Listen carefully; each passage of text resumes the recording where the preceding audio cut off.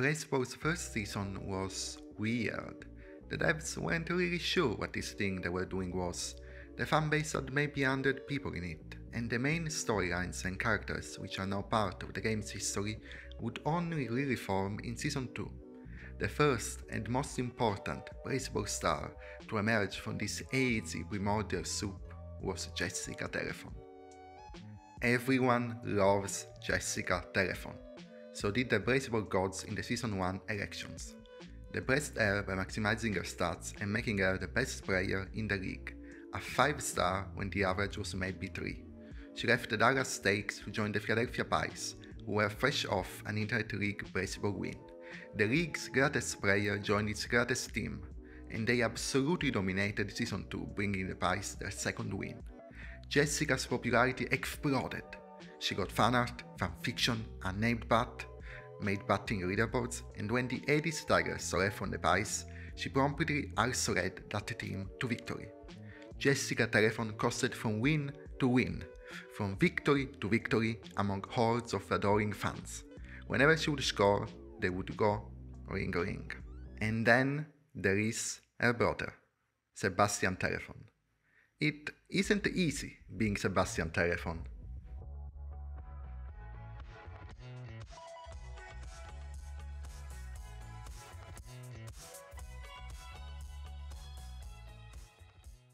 The way Blaseball's lore-making process works, the fans don't really, by design, have much to build on as far as the characters go, and that was even more true in Season 1 when they only had names, stats, performance and some loose information to base their stories on.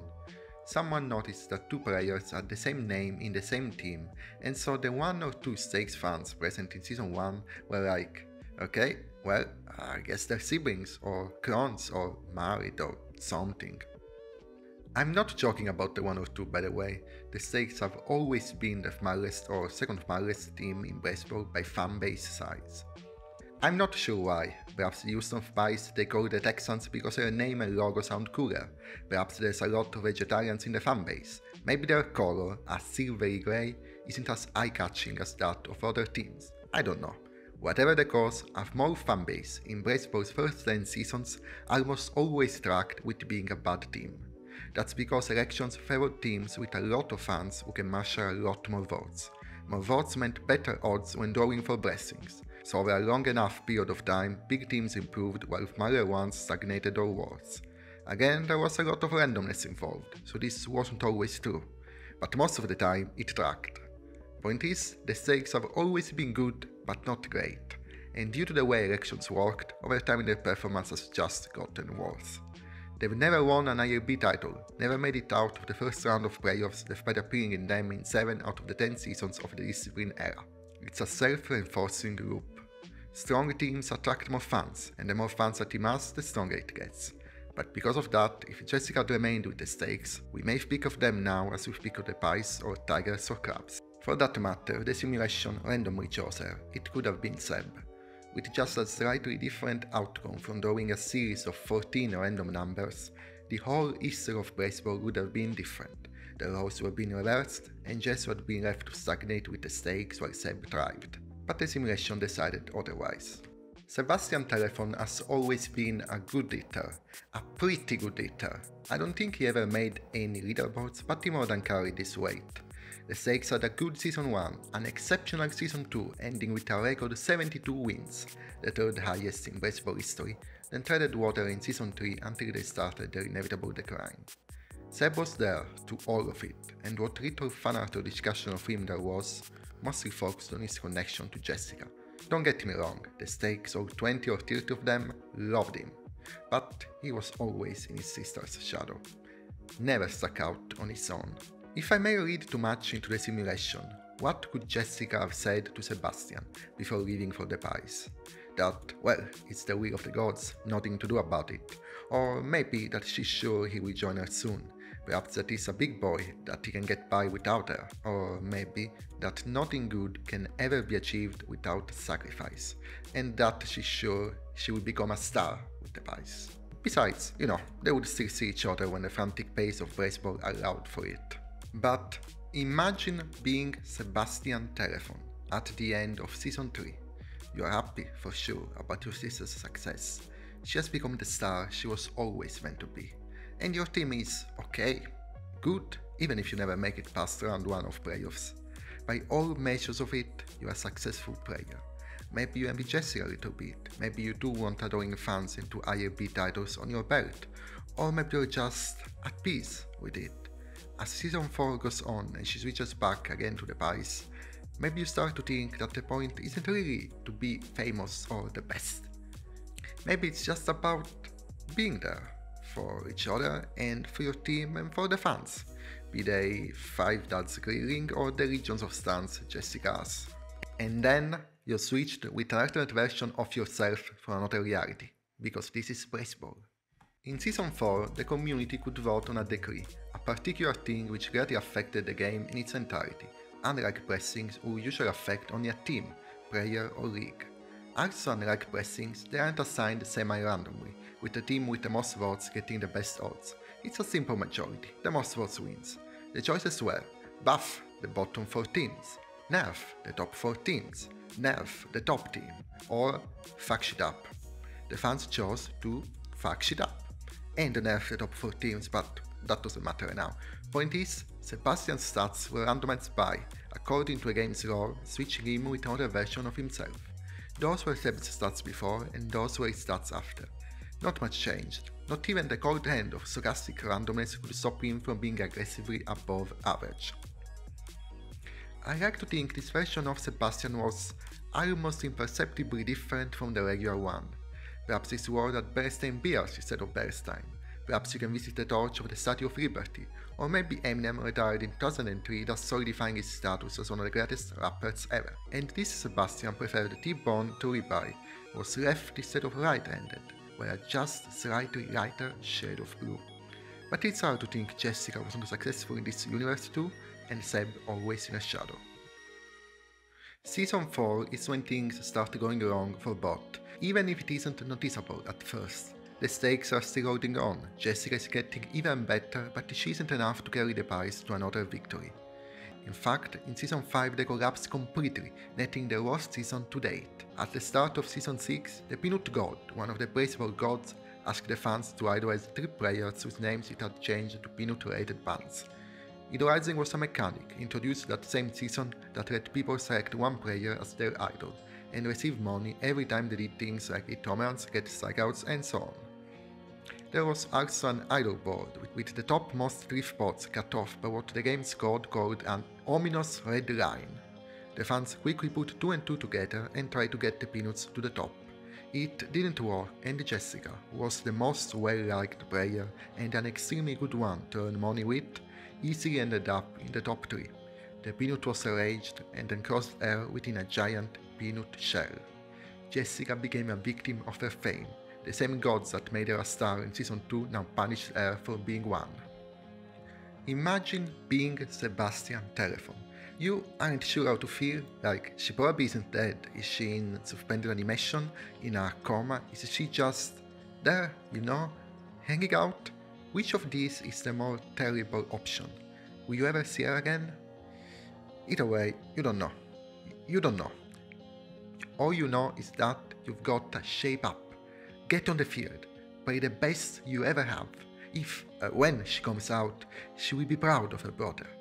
So you polish your butt, tie your shoes, look out for a brand new day, and get incinerated.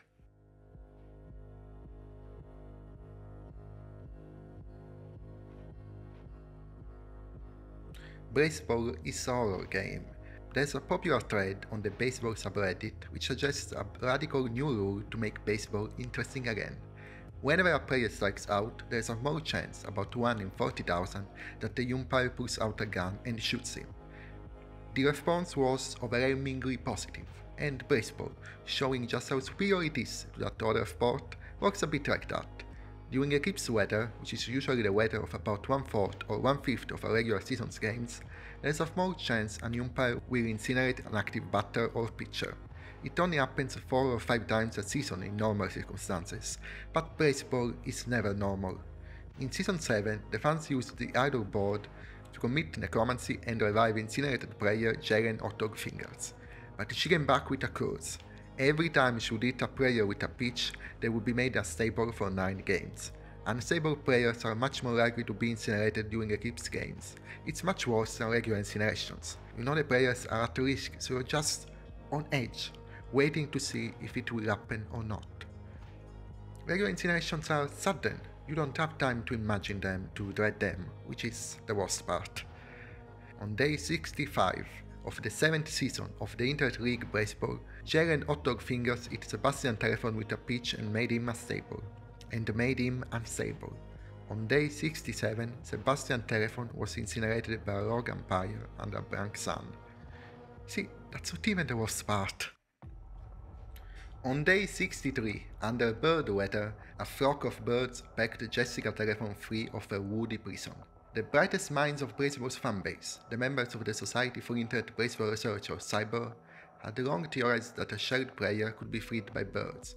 Birds is a type of weather that appeared alongside peanut weather, and which shows random messages on the game log related to birds. One of them is the bird circle, but don't find what they're looking for. The nerds thought it was related to shelled players, and they were right. Jessica Telephone burst out of her shell and instantly delivered a home run, to the joy of her fans. All this happened 4 days before her brother's death. 4 Blaseball days, so 4 hours in regular human time. Again, time is weird in Blaseball, but let's assume it was 4 days as we understand them. So, did they call each other? Did they make plans for hanging out? Did Jessica learn that Seb was unstable and understand the implications? Instability had already killed earlier in the season. And what did she think or do when she learned he was dead? She was back on the field, still a top player, but something was missing.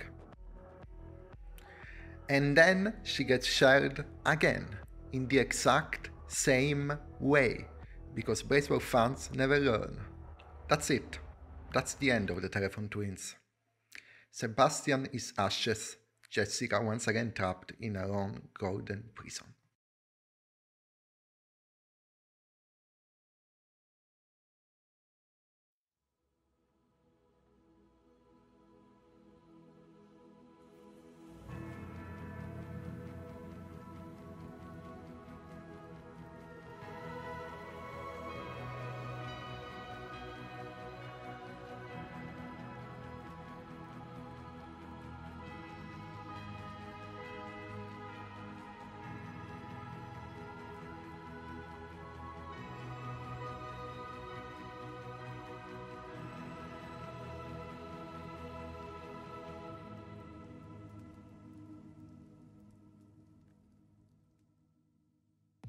In Season 10, Day X, a selection of the league's dead players came back to life as the All-Stars, a super team formed to fight the Shelled One's Pods, that is, players stolen by the Peanut God to fight on its behalf. Sebastian was on the former and Jessica on the latter. The two teams were, in a way, mirrors of each other. The Peanut took all shelled players and it had previously marked for its team that included the league's greatest stars and all but one of their limited target speeches because of reasons. Nagomi McDaniels, York Silk, and obviously Jessica Telephone were among them. The All Stars were also some of the league's greatest stars Randy Valens, Boyfriend Monreal, Workman Groom. The fans also decided who would be on board by getting players shelled by way of idolization, idolization for the pods, by making tributes in the Hall of Fame, a separate leaderboard containing dead players for the stars. But while the pods were doing the bidding of a malevolent god who had trapped beloved players and stolen them from their team, the stars were what the league sent to destroy the Peanut and free them. The match between the stars and the pods was set up like a JRPG boss battle, with every action like hits, runs, home runs damaging the enemy. The peanut floated above the game's interface and occasionally spoke, taunting the players. Whenever Jessica scored, it would go ring ring. Imagine being Sebastian Telephone and having to kill God to save your sister. You need to play well, better than you ever have. You are rubbing shoulders with some of the greatest Blaseball players ever and going against the same. You are so out of your depth you don't even see the surface anymore. But you've got to try, you've got to play, you have to step onto the field under the gaze of a dark god, grab your bat, bend your legs slightly, eyes on the ball, and get incinerated again. Sebastian Telephone is the only player in Blaseball history to have been incinerated twice. In a Q&A, the developers said that in their test runs, in a Q&A, the developers said that in their test runs, dozens of All-Star players died, but in the actual thing, against all odds, only one did. Finally, the simulation had chosen Sebastian.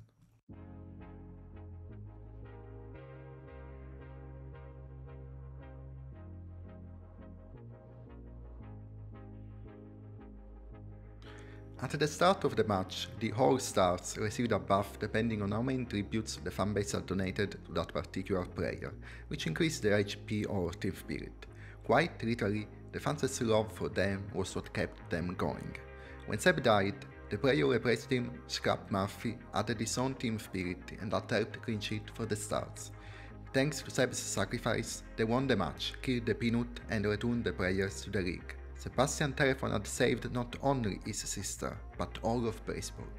It had only taken his life. Nothing good is ever achieved without a sacrifice.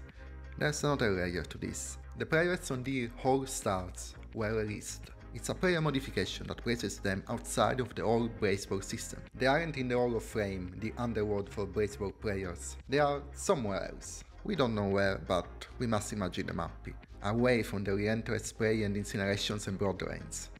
Seb was incinerated, so he went right back to what might be considered hell, or limbo, or whatever. Necromancy has happened twice now in Blaseball. Not being released means he has a chance to unite with his sister. Again, you can't ever read too much into a simulation, and no one knows what the future holds. But you could say that paradise, or just freedom, a release, a happy ending, wasn't worth it for him if he had to leave her behind.